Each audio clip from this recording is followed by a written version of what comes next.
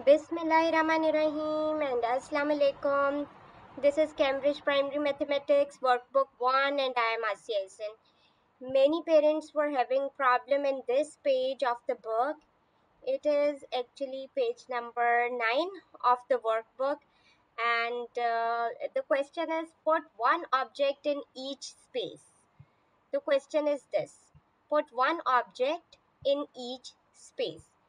So it means that we have to put one object in each space, but this is an activity. These Cambridge primary workbooks are activity books actually. Uh, it was not supposed to be done like this, but uh, if the teacher has given you this page as a homework, then you can put one uh, object in each uh, space and show it like this. But how to do this page in actual? Do this activity with your child, you need to put some counters. How many counters you need? You need one, two, three, four, five counters. And what is a counter?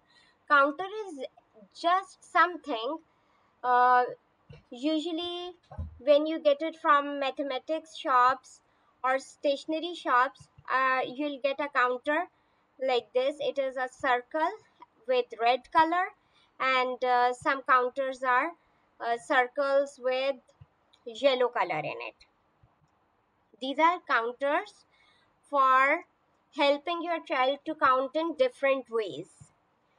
Okay, so put each object in each space. One object in each space means uh, you need to put these counters, these five counters in each space.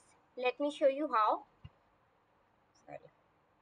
Let me just copy it and we'll paste this circle in each space.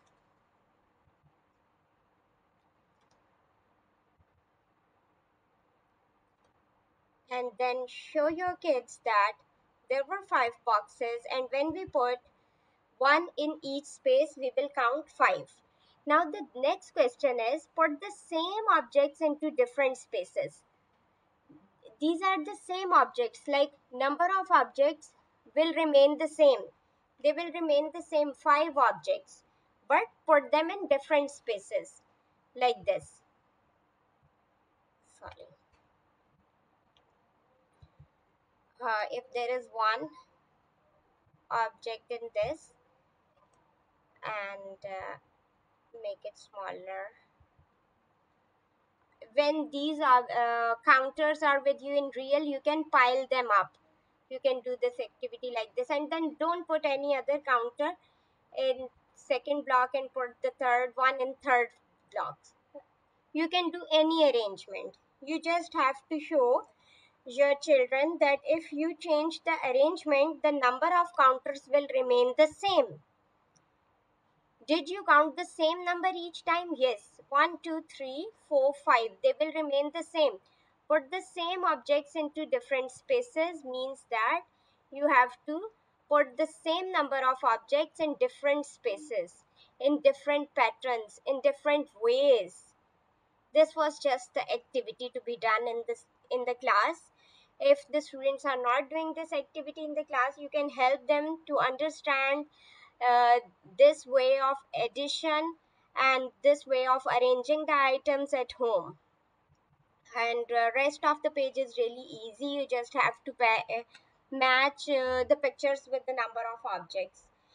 Thanks for watching my video and if you have any queries or any mathematics pages to understand you can send me on my whatsapp number. Let me write my whatsapp number here uh, I will be making free videos for you and I will be sharing them here on my WhatsApp channel, uh, on my sorry YouTube channel. Uh, the number is 0321 493 5963.